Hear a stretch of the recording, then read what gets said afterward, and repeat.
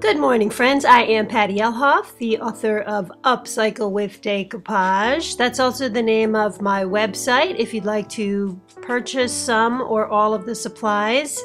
And my book is available on Amazon. And I have a Facebook page. If you go over to Upcycle with Decoupage on Facebook and click like and follow, you'll be notified every week when I put a new video out. And here's what we'll be working on for today. So these started out as those plain wooden bangle bracelets that you can decorate.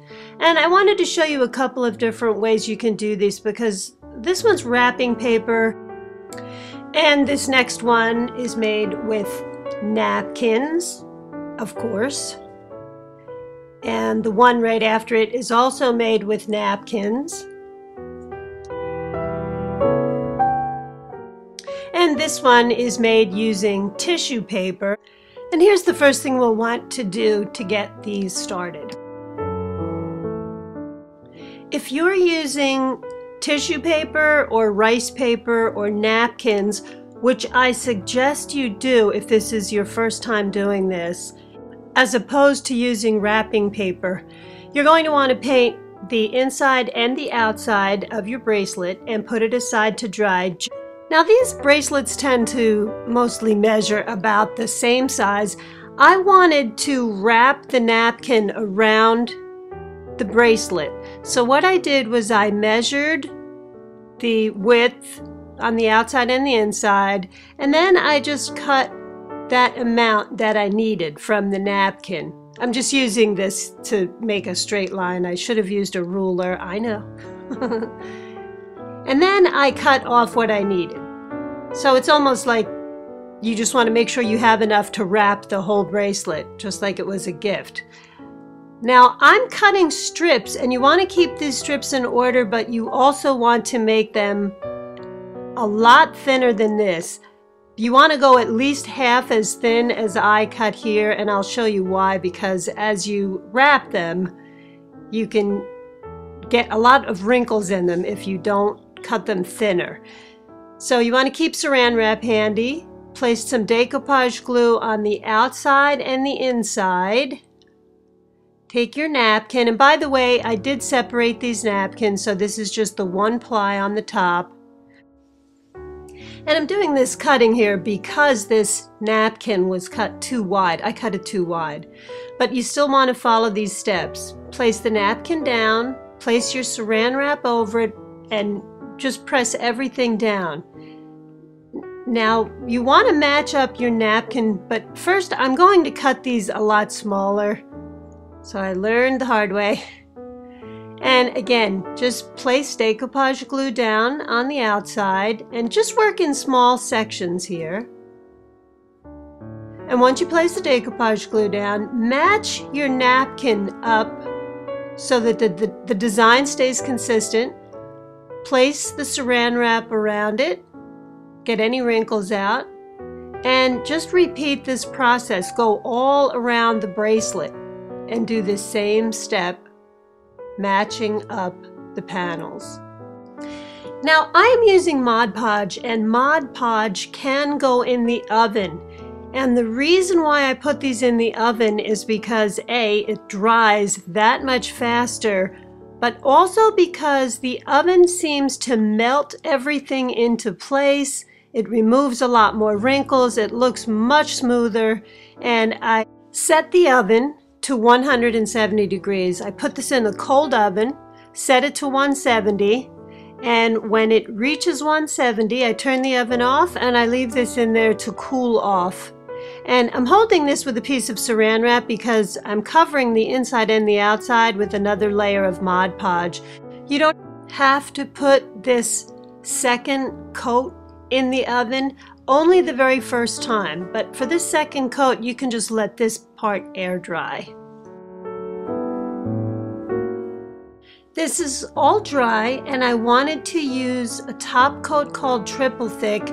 You you should not use a sponge brush with the triple thick. The people that have the biggest problems with it are having the problems because they're using the sponge brush. So use a bristle brush like this if you want to use this and it's a very high gloss and while the top coat is wet I put the edges in some glitter like this, just moved it around.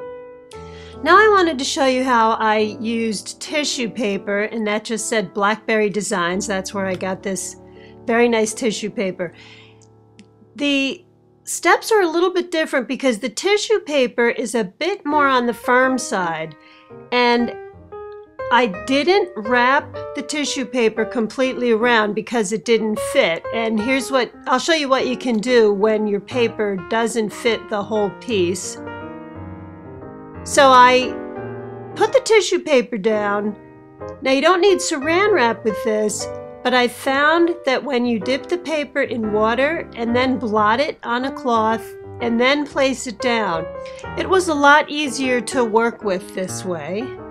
And you can add the coat of decoupage glue right over the piece that you just worked on. So I'm just going to go around the rest of this bracelet and finish it the same way that I did the other one and put it aside to dry. Once it was dry, I added one more coat of Mod Podge, let it dry, and then I also put the top coat, and the top coat was the triple thick again. And just one more example, I'm using wrapping paper here and again I'm cutting it to fit the size of the napkin and I just want to show you these three different examples.